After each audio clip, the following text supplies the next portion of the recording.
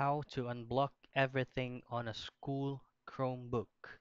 Now, I'm gonna give you a specific link for you to access it.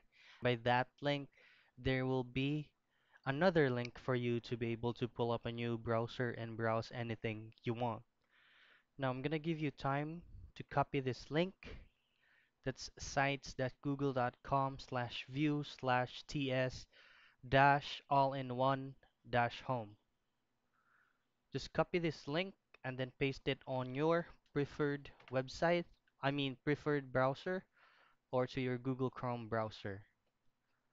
Now you will be routed to this page and all you have to do to unblock everything is going to be by clicking this spot right here. Hover your mouse to browser and choose either server browser 1 or 2. Now from here, this is where you want to go any website that uh, is not blocked. For example, uh, YouTube. All right, so youtube.com is now accessible. You can now unblock everything on a school Chromebook.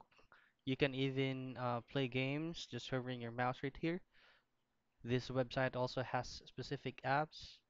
They have YouTube, Netflix, Disney Plus, Twitch, and Hulu, the browser, movies and TV, and many more.